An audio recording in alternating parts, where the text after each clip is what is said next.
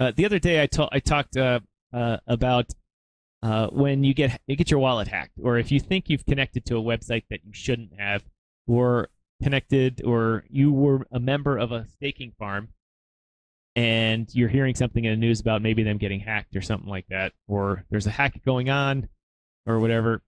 Uh, one of the things you need to remember about your wallet uh, is that it does two things. One, your your wallet on your phone, your Trust Wallet or MetaMask, or on your browser, whichever wallet you use, wallets are viewers of the blockchain. All of the information about anything you trade, the value of every contract, every bit of information resides on the blockchain. Your wallet really is a viewer of that. It just as soon as you open your wallet to look at something, it zips out to the BSC chain, reads it, comes back and says, "This is how much you owe," or it just updates it. That's why you see it doesn't do anything, and then 10 seconds later, says your investment is up or down.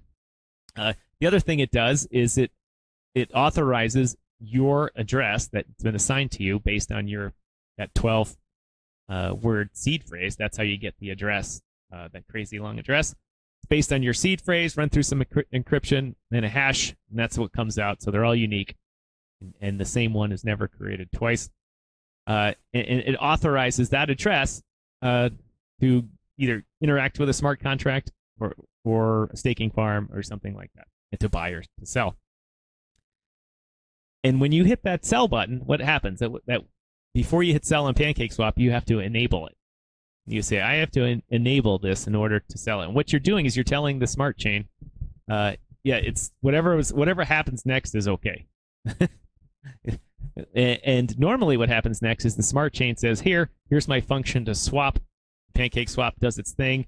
Uh, the contract is tuned up. Your contract you're starting with, the contract you're finishing with, they all have the the either the buy or the sell in it, or the receive tokens. It happens and it's done. Uh, what scammers do uh, is they write a different type of contract. What they do is they write a type of contract in which I, I explained that is called the power of attorney and I pulled a fast one on Jason or on Jason on Jeremy by knowing about this. Uh, they they used the message sender and sent instead they instead of using the message sender they use the transfer origin uh, function. And what you're doing is when you go to those websites that steal your money, uh, that was the wrong site. That steal your money, and one of our happened to one of the people in our community recently connected to the wrong Shiba Floki Inu site uh, for rewards, and uh, he took everything in his wallet. Uh, to avoid doing that, they usually don't take it right away uh, because they're busy taking everyone else's, so they get to you eventually.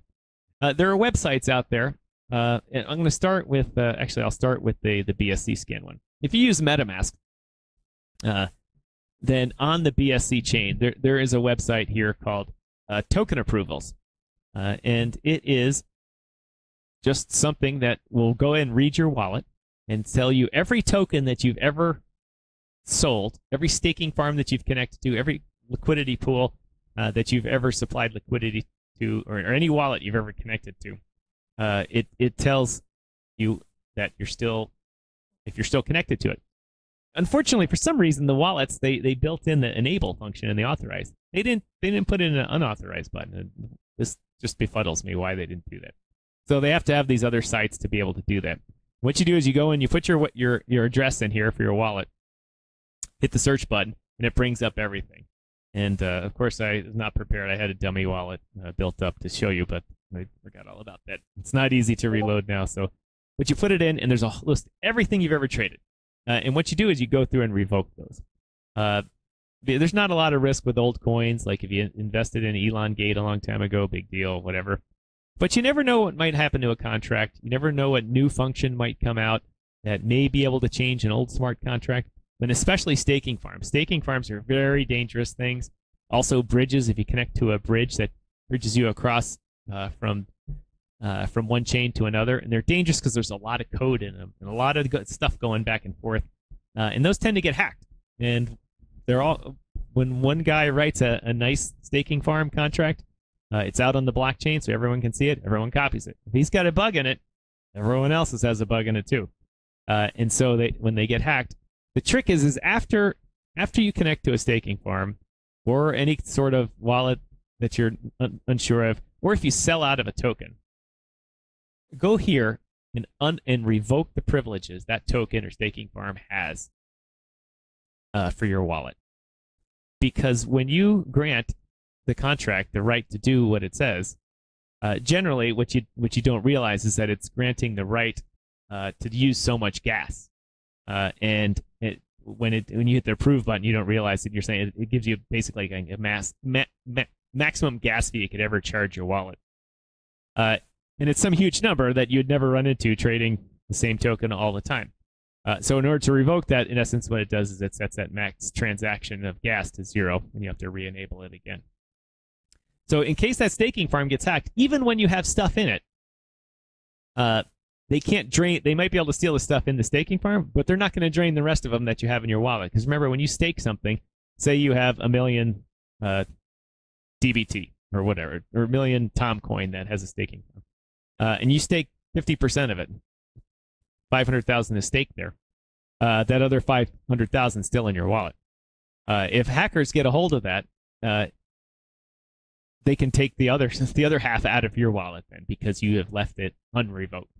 So after you've staked things and you've got, you know, to be safe, you're gonna leave it there for a while. Go here and revoke it. You pay a little gas fee, uh, but you do it. And this is the BSC one. Since BSC is just a straight fork of the Ethernet Ethereum chain, uh, Etherscan has the same the same one. Doesn't work with Trust Wallet though. Trust Wallet has two two good solutions. One of them is uh, this website called Unrekt. I know Jeremy's cringing because we re- tell people never, ever, ever, ever, ever connect to a website that you don't know about and you don't trust. Uh, while this one's called Unrekt, it has a long history of helping people, and it has no smart contract behind it. So there's nothing that can go awry. What it does is it just reads what's in your wallet, uh, and then when you go to hit revoke, it pops it out there uh, and revokes them. There's another one called Beefy Finance.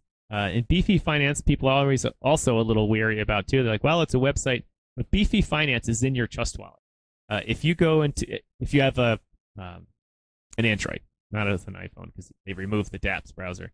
If you have uh, uh, an Android, open up your Trust Wallet, go to your dApps, and down to where Pancake Swap usually lives, scroll to the side or up and down, and you see Beefy Finance. In there somewhere is their token removal thing.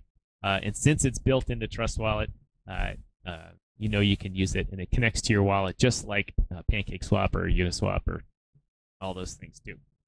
Uh, so that's uh that's my hint of the day. I expanded on it. If anyone has any questions about that while I'm still talking about it before uh, uh